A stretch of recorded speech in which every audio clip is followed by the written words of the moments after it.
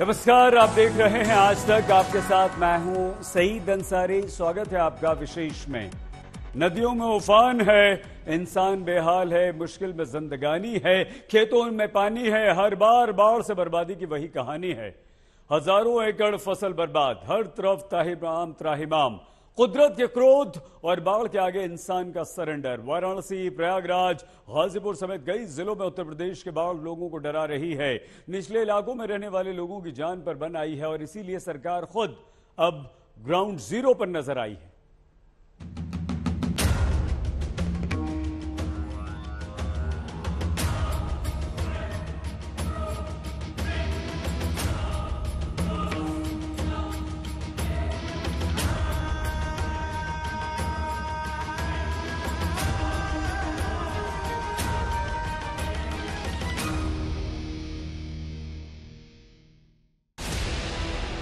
महादेव की नगरी काशी में पानी कहर बरपा रहा है।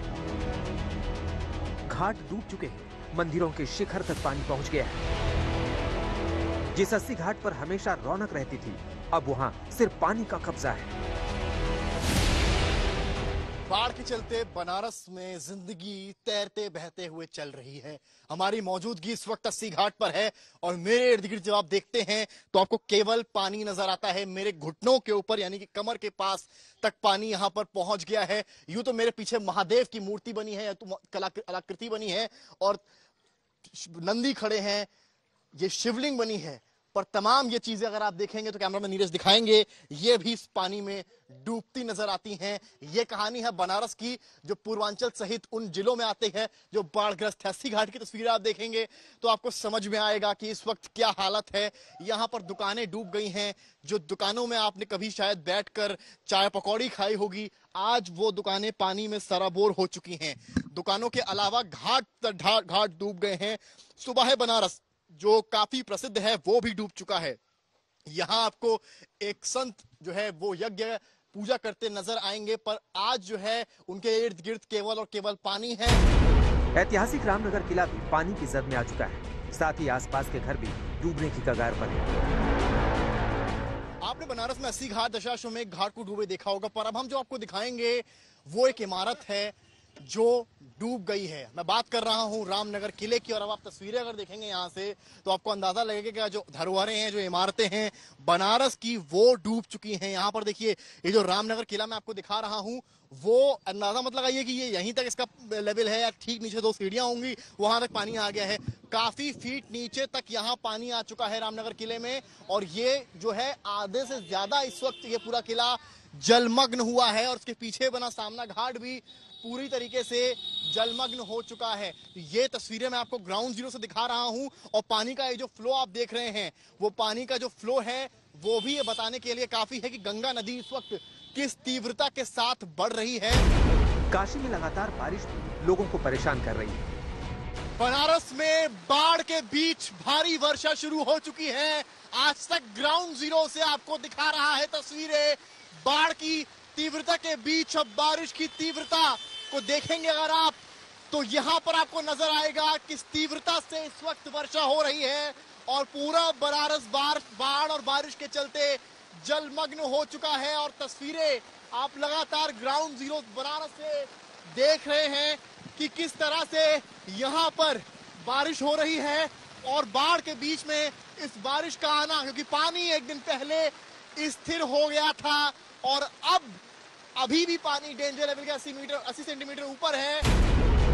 पीएम मोदी ने साल 2018 में वाराणसी के डोबरी गाँव को गोद लिया था। वहाँ आधे से ज़्यादा घर पानी में समा चुके हैं। कुदरत का कहर जब आता है तो उससे कोई अछूता नहीं रह पाता है। क्या घाट क्या शहर और क्या गाँव?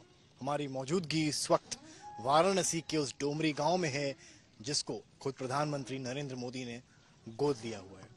पर इस वक्त जो आपको मैं तस्वीरें ग्राउंड ज़ीरो से दिखाऊँगा, वो आप पहले देखेंगे तो आप देखेंगे कि बाढ़ ने इस गाँव को भी नहीं छोड़ा है। ऐसे वक्त में जब अस्सी घाट, दशाश्वमेघ घाट समेत तमाम बड़ी इमारतें शहरी इलाके पानी में सराबोर हैं, माँ गंगा का रौद्र रूप इस गाँव में भी देखने को मिल रहा है। तमाम घर आप देखिए, काफ़ी ऊपर तक यहाँ पानी भरा हुआ है। लोग या तो अपने घरों की छतों पर रहने को मजबूर हैं या यहाँ जो सरकार द्वारा राहत शिविर लगाए गए हैं वहाँ पर गए हुए हैं। ये सामने की तस्वीर आप देख रहे हैं। ये आप देखेंगे तमाम घर हैं काफ़ी इनकी इनके केवल ऊपर की जो जगह है ऊपर की जो सतह है वो आपको यहाँ से नज़र आ रही होगी। तो उससे आपको अंदाज़ा लगेगा कि इस वक्त इस गाँव के क्या हालात हैं। डोमरी गाँव के शेल्टर होम में लोग अपने दिन काट रहे हैं और अपने घर वापस जाने की राह देख रहे हैं। डुमरी गाँव इस गाँव में शेल्टर होम भी बना हुआ है और जिनके घर यहाँ पर डूबे हैं, उनके लिए व्यवस्था करी गई है। वो लोग आकर यहाँ पर रह सकते हैं, खाना पीना खा सकते हैं। और तमाम देखिए फैमिलीज़ हैं, जिनके घर डूब गए हैं, जिनका नुकसान हुआ है, उनके बच्चे, उनके घर वाले सब यहाँ पर आए हुए हैं। शेल्टर होम यहाँ बनाया गया है, गाँव के ठीक बाहर की तरफ़ बनाया हुआ है। क्या समस्याएँ हैं? इनसे भी बातचीत भी करेंगे, क्या है, क्या चीज़ें हैं? क्या नाम है आपका? शोभा मिश्रा। आपका भी घर डूब गया है? मेरा घर तो सबसे पहले डूब गया है। मेरा घर में अभी भी आठ फीट पानी होगा।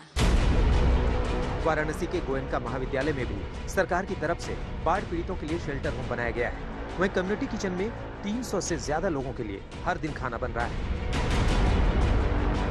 बाढ़ पीड़ितों की राहत के लिए तमाम तरह के शेल्टर होम्स बनाए गए हैं और वैसे ही एक शेल्टर होम गोयनका महाविश्वविद्यालय में हम आए हैं और देखने जायजा लेने की आखिर क्या चीज़ें अप टू डेट हैं? क्या यहाँ पर लोग जो इंतज़ाम किए गए सरकार की तरफ़ से उससे खुश हैं या उनको भरपेट खाना मिल रहा है ये सारी चीज़ें आपको दिखाएँगे। ग्राउंड ज़ीरो से ये बाढ़ राहत राहत शिविर तहसील सदर में है और ये जगह वाराणसी। और ये तस्वीर आप देखिए ये इस तरह से यहाँ पर चीज़ें बनाई गई हैं। यहाँ पर लोगों के सोने की व्यवस्था करी गई है आपको बाढ़ सामग्री यहाँ पर तमाम नज़र आएँगी डिब्बे नज़र आएँगे राशन के और यहाँ लोगों के कपड़े हैं। बाढ़ में लोगों की जीवन भर की कमाई डूब गई। जिस दिन पानी भरना उससे आया आ गया उसी घाट पे से यहाँ पे।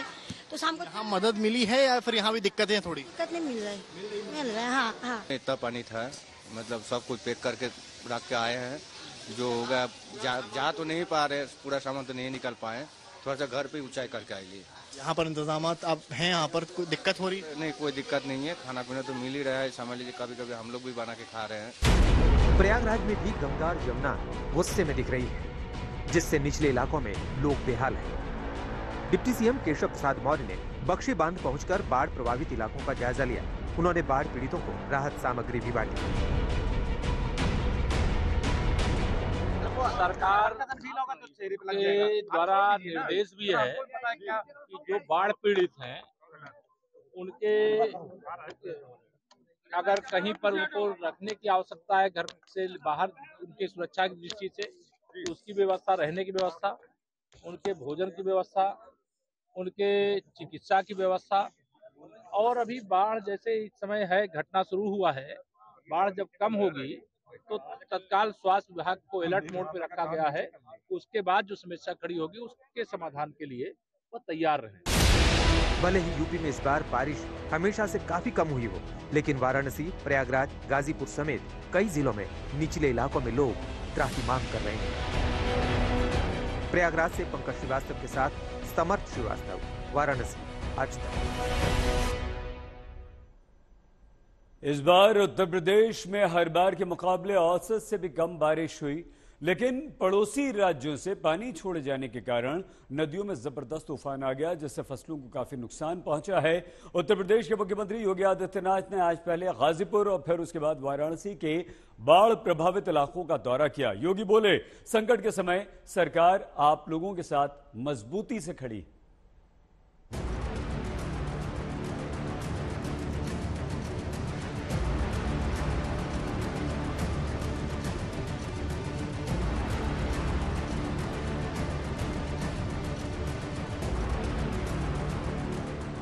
बाढ़ से हालात बिगड़े तो सरकार ने खुद मोर्चा संभाल लिया।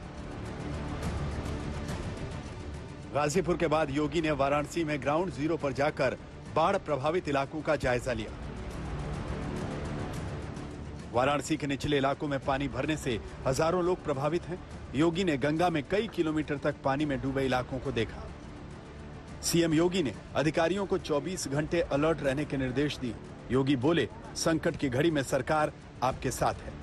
पूरी सरकार और प्रशासन आपके साथ खड़ी है ये आश्वस्त करने के लिए आज मैं आपके बीच में यहाँ पर स्वयं उपस्थित हुआ हूँ।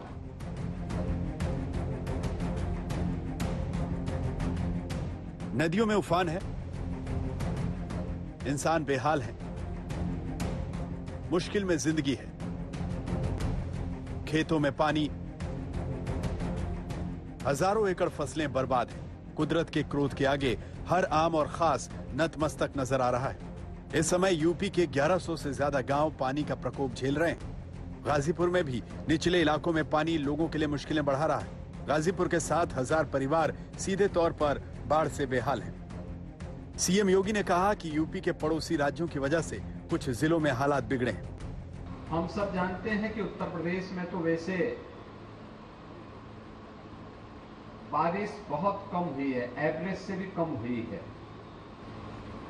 लेकिन यहाँ पर जो भी ये समस्या खड़ी हुई है, यह राजस्थान और मध्य प्रदेश से अतिरिक्त जल छोड़ने के कारण पैदा हुई है। मुख्यमंत्री योगी आदित्यनाथ बाढ़ पीड़ितों के लिए बनाए गए राहत शिविर में पहुँचे। राहत सामग्री बांटते हुए सीएम अपने विशेष अंदाज में बच्चों और लोगों से बात करते दिखे।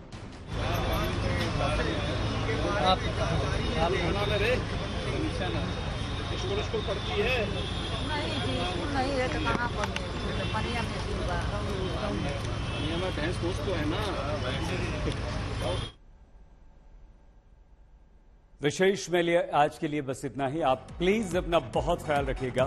देखते रहिए आज तक।